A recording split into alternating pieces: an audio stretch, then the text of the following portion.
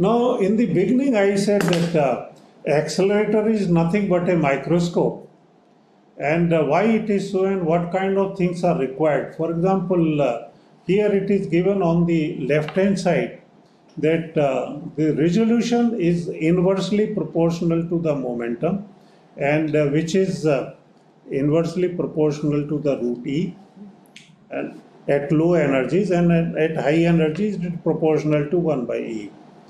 Now, if you so that means if it is high energy, you can get better resolution, and therefore you can you will be able to study much smaller dimensions.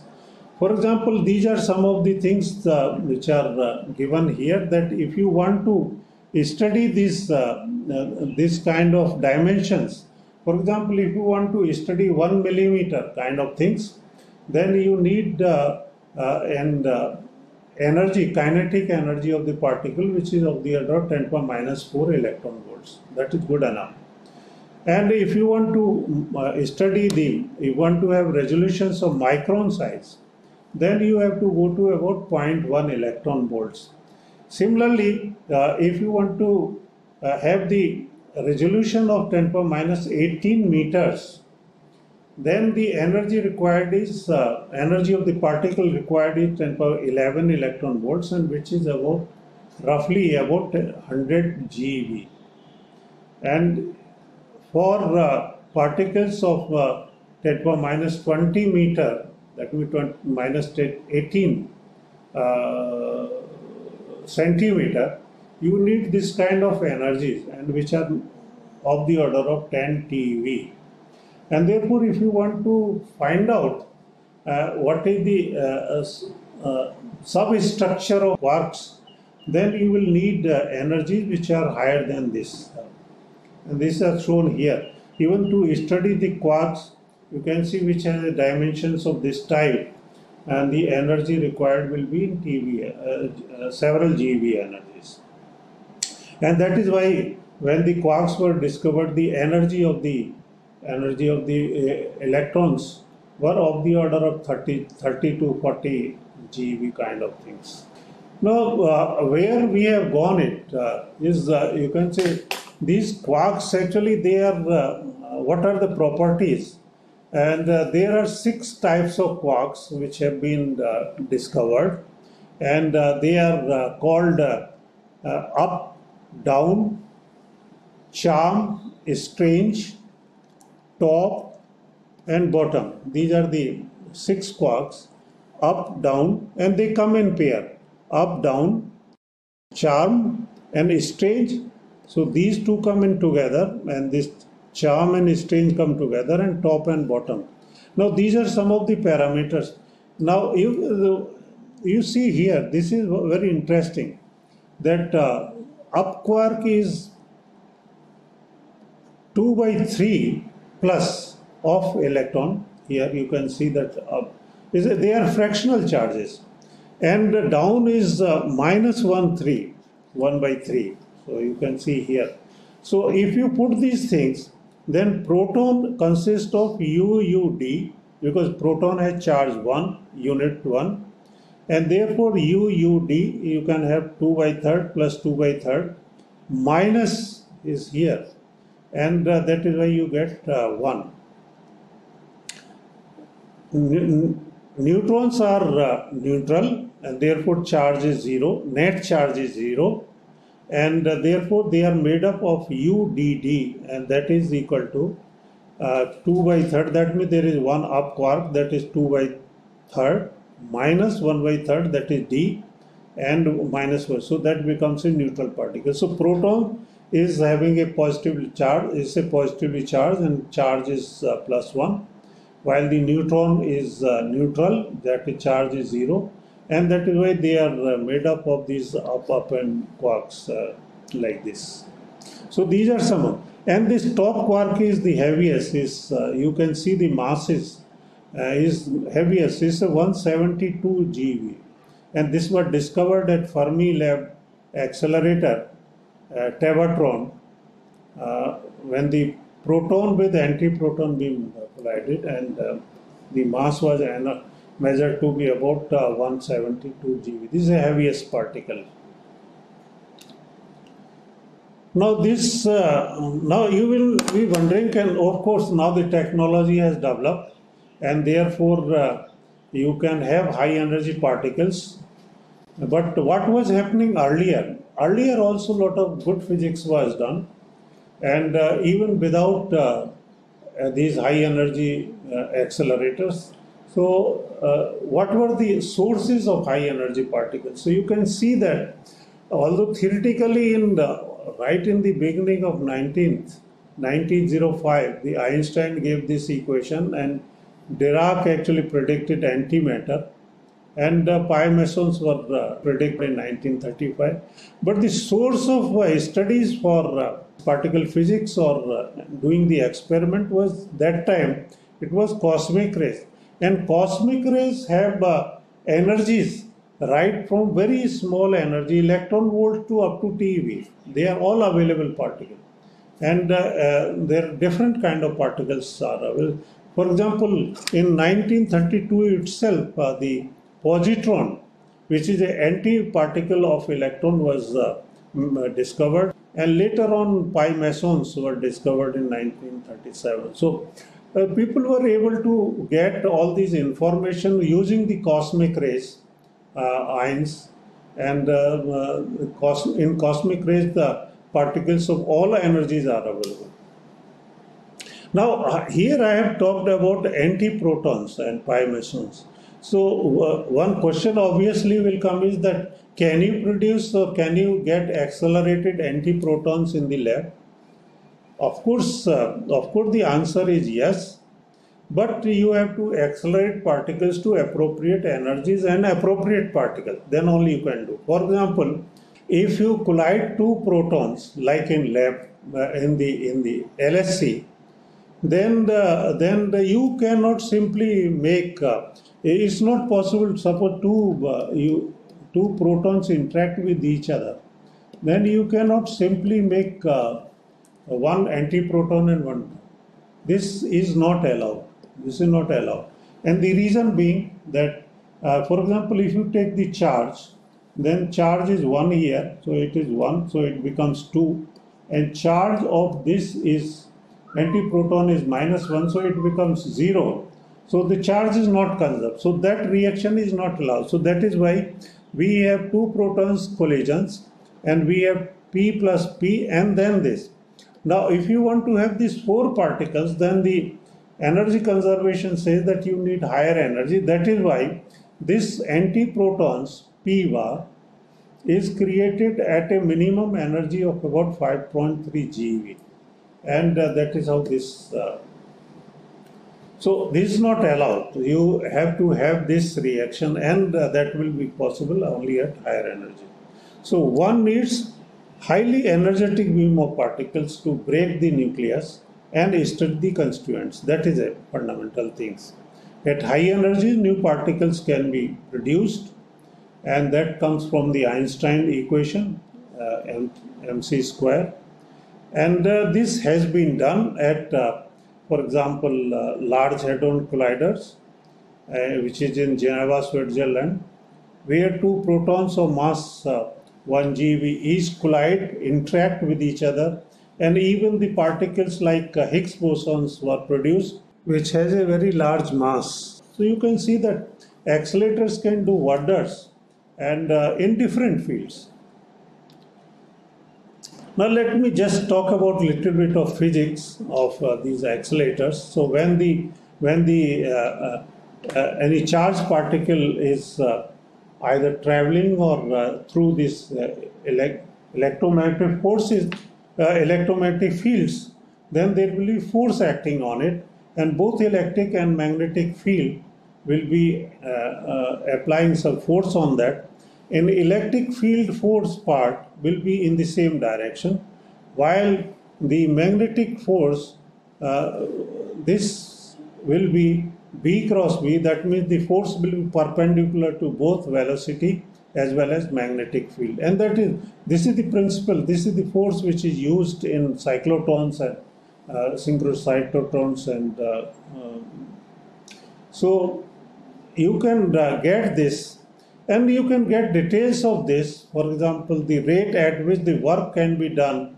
on the ion is given by here and uh, uh, sorry this has to be only this portion as this is 0 and only this force will be there first one which is E times so uh, here again uh, we have classified uh, accelerators in different categories earlier based on type of ions and uh, and uh, uh, and the whether the particle is heavier or not and things like that. There is another category whether the acceleration is uh, is due to electric field or it is because of uh, magnetic field as well. For example uh, rate of change of magnetic field can be used for accelerating charged particles particularly electrons in the case of betatron accelerators. So if it is a static magnetic field then it will not be accelerating. It will only be deflecting the particles. But if the b is changing with time then you will find that uh, uh, that can accelerate the particles also uh, because there will be uh, gradient accelerating gradient will be so basically then you can see that there are two categories. One is that uh, there is a static field which is given here and the uh, second term will be zero here in this case and the acceleration uh, by DC accelerate uh, the DC voltages uh, will be done. And uh, there are different types of accelerators in this category which is uh, as I said that for nuclear low energy nuclear physics experiment is the most useful one and they can be seen here that they are in initially in the early uh, late 20s, the first one which came was uh, Cockcroft-Walton type of uh, um, multiplier, which will which will convert into accelerators. Then later on, the uh, things were technology was improved, and the Van de Graaff electrostatic generators were uh, developed. And then the further improvement led to uh, building of tandem and pelletron accelerators. They all have different characteristics, which I will be discussing, and of course the dynamitrons, and uh, they are basically all electrostatic accelerators. So in this category, category uh, I, I, have said that uh, if uh, if the rate of change of magnetic field is used for accelerator acceleration, then that accelerator is called betatron. And if you are using changing electrostatic field, then they are called resonating because you have to resonate uh, the, the um, particles with the actual frequency and the phase etc. And they are called uh, cyclotrons in this category. These accelerators come into picture. They are, they are the ones which are so this is basic uh, background for the accelerators and uh, I told you that uh, uh, why accelerators are important and why they are required, what they can do and what we can gain from them. And now let us uh, see that how useful are these uh, DC accelerators. They are normally low energy accelerators, but their, their energy resolutions are much better than the other ones and therefore the for certain kind of studies, they are much better than the.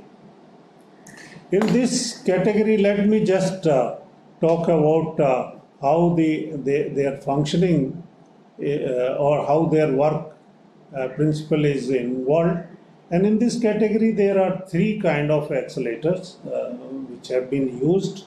And the first one is, uh, let's say this just I explained the, how it is working. Suppose this in the beginning also I have explained that suppose there are two plates and uh, I connect a battery here which is uh, this portion is positive and this is negative. Uh, that means this plate is uh, negative and this is positive and then you uh, uh, you inject a positive ion which is having a charge of q plus then they will be this these ions, positive ions, will be attracted by this second plate, which is uh, at ground potential. These particles reach to this second plate. The energy gain will be Q times voltage. So this is the basic principle of this. Uh, so it's, but the improvement of that is uh, Cockcroft-Walton. Uh, so this act also like a like a capacitor. So if you if you can have several capacitors and you have uh, instead of this DC voltage, you can have AC voltage and uh, uh, you use a, another circuit which is called uh, uh, which has both capacitors and diode then the voltage can be much higher and you can see here that using these uh, uh, uh, techniques people were able to go to higher voltages and 1 to about 1.5 million volt could be achieved with this. Now uh, these Cockcroft-Walton type they were all open air open air type. And therefore if you try to go to higher voltage, there will be uh, breakdowns and uh, we will not able to go to higher voltages. While this could be, this problem could be overcome in the Graaff type of accelerators, where this whole accelerator is enclosed in a, in a pressure vessel and uh, that is uh, insulating gas is put inside that pressure vessel at higher pressures which could uh, which improved the dielectric constant and therefore we were able to extend the higher voltage on the on the terminal or the point of high voltages which could be, which was different from the other ones. Here for example in the case of uh, Cockcroft-Walton you are using condensers or uh, capacitors directly while in the case of Van de Graaff and uh, pelletrons the capacitor is made by the electrodes uh, by uh, so they are made there itself uh, some high voltage terminal acts as a capacitor in that uh, case so that has to be charged. So it is technology is slightly different. Now uh, coming back to these accelerators uh, what are the uh, what are the components involved basically? Now we are talking about this i have explained earlier but the few components which are required of course is a source of charge particles. Then there has to be accelerating tube because uh, inside which we have to uh, accelerate the particles. So and if uh, we don't have very high vacuum inside the accelerating tube then these particles will uh, collide with the, all the gas particles in the tube and they will lose the energy. So not only the uh, energy will be lost, but also the also the resolution of the beam will be because then there will be a spectrum of energy rather than one energy, single energy, and therefore you have to have a very high vacuum in this one uh, to avoid the energy loss, etc. Now this uh, this source has to be isolated from the other uh, this source and this and that is what is done by the high voltage column section or the accelerating tube across which we maintain the electric field and that provides the force to accelerate them to the high energy. So the beam which is coming at this point is accelerated beam. And of course as i mentioned earlier that uh, many times, sometimes it is focused beam, but many times it is a defocused beam, and uh, that has to be focused. So here you have to put the beam handling components like uh, focusing devices and so on. Ultimately, we want to take the beam to the target chamber where the experiments will be, are done, and therefore um, that is the ultimate now, what is the criteria? See, ultimately, and actually, I was mentioning that in the co- uh, uh, Cockcroft-Walton type, you can go maximum up to 1.5 million volts.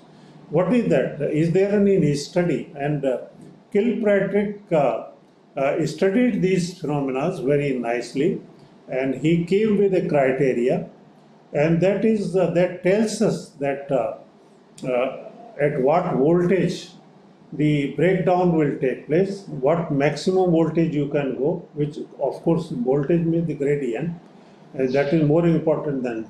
So the Kilpatrick, uh, he, he gave the criteria uh, after the empirical uh, criteria based on a lot of studies and uh, above that voltage he gave that at what voltage the breakdown will take place above that voltage the plasma will form or the discharge will form and voltage will not be able to go.